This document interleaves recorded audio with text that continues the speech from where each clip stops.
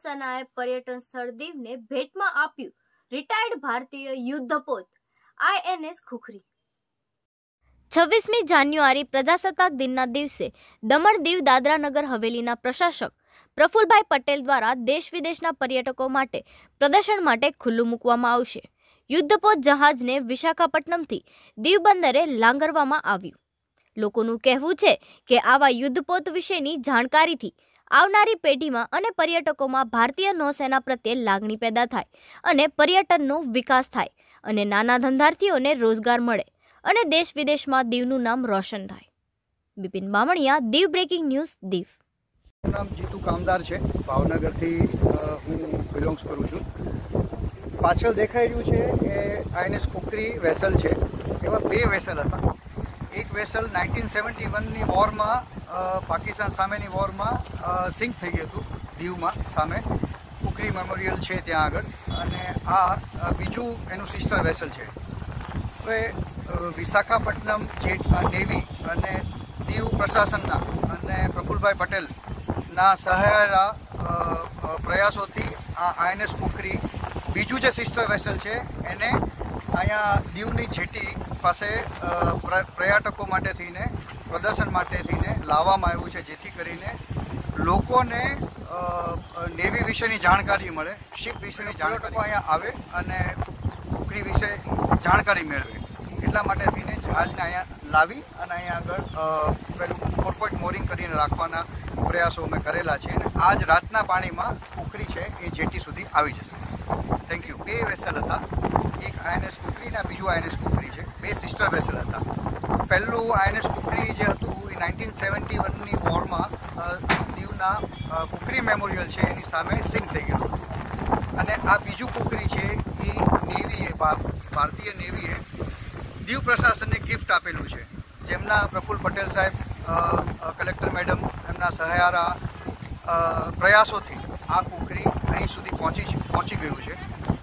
એ કુકરી પાછળ જે દેખાઈ રહ્યું છે એ કુકરી રાતના પાણીમાં જેટી ઉપર લાંગરવામાં આવશે અને પર્યટકોને જે બી અહીંયા આગળ પર્યટકો જે આવે છે, એની માટે થઈને, એમને નોલેજ મળે, એની માટે થઈને આ જહાજને પ્રદર્શન માટે ખુલ્લું મૂકવામાં આવશે. જય હિન્દ. નમસ્તે ઇન્ડિયા. આઈએનએસ કુફરી તમે પાછળ જોવો જો આપણી પાસે બે યુદ્ધ પોત હતા. જે પાકિસ્તાન સાથેની વોરમાં જે અમેરિકાની મદદથી ટોર્પિડો મારીને એક યુદ્ધ જહાજને તોડી નાખવામાં આવ્યું ને એમાં આપણા ઘણા બધા જવાનો શહીદ થઈ ગયા હતા ને આપને બહુ નુકસાની થઈ, જેને પાકિસ્તાનના દાંત ખાટા કરી નાખ્યા હતા નેવીના. તો એને, એનો જ મોડલ એક પાછળ જે આપણે અત્યારે આવે છે આઈએનએસ કુફરી, જે પ્રશાસક પ્રફુલ પટેલના પ્રયાસથી જે અત્યાર સુધીમાં જે આઈએનએસ વિક્રાંત, વિરાટ, ઘણા બધા આપણા યુદ્ધ પોતો જે બંગાળમાં એને તોડી નાખવામાં આવ્યા અને એની જગ્યાએ અત્યારના આપણા પ્રશાસક જે છે, અત્યારના દીવના, એમને આ યુદ્ધ જહાજને ટુરિઝમ માટે એક મૂકીને એક સારી પહેલ કરી છે જે ભારતમાં મને લાગે છે કે પહેલી વાર આ વસ્તુ જોવા માટે માણસોને મળશે ને એના માટે ઘસારો એટલો બધો આવશે, ટુરિઝમ એટલો આવશે, દેશપ્રેમી માણસો આવશે, સ્કૂલના છોકરાઓને એના વિશે અભ્યાસમાં ભણવા મળશે ને એને એજ્યુકેશનમાં એ વસ્તુ કામ લાગશે કે આપણા યુદ્ધ જહાજ કેવો હોય, આપણા નેવી શું હોય, નેવીમાં કેવી શું કામ જવું જોઈએ. નેવીનો ઇમ્પોર્ટન્સ સમજાશે. જે અત્યારે ઘોગલા ગામ છે, ધારો કે બધા હંડ્રેડ પર્સન્ટ ફિશરમેન છે, તો એ લોકોના બાળકો અત્યાર સુધી જે મર્ચન્ટ નેવીમાં જ જતા હતા, તો એ લોકોને એના માટે સ્કૂલ થાય, એના માટે ધારો કે સારી ટ્રેનિંગ સેન્ટર થાય.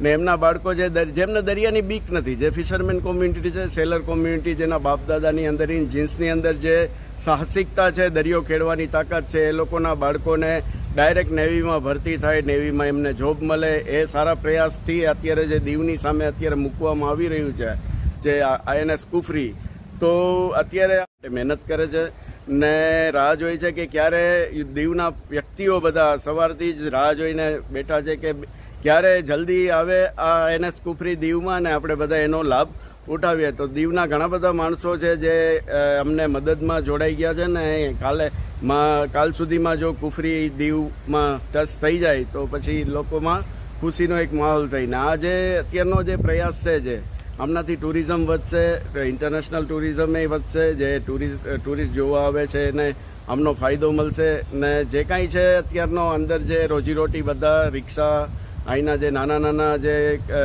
જે રેકડીઓથી લઈને જે રેસ્ટોરન્ટ, હોટલવાળાને ભાઈ, આનો ફાયદો થશે. ને આવી જ રીતે દીવ ઇન્ટરનેશનલ એરપોર્ટ બને, દીવ ઇન્ટરનેશનલ ક્રિકેટ ગ્રાઉન્ડ બને, એવી પ્રશાસક પ્રફુલ પટેલ સાહેબને નમ્ર નિવેદન છે ને દીવને જે આટલું પૂરજોરમાં ડેવલપ કર્યું છે જે અત્યારે ઉપાડ્યું છે બીડું, તો હું માનું છું કે દીવમાં ઐતિહાસિક જગ્યાઓ બધી જે રીતને ડેવલપ થઈ રહી છે. તો વિશ્વમાં દીવનું નામ થાય, દીવ આઇલેન્ડ ઘોષિત થાય નમસ્તે ધન્યવાદ. Thank you thank you very much sir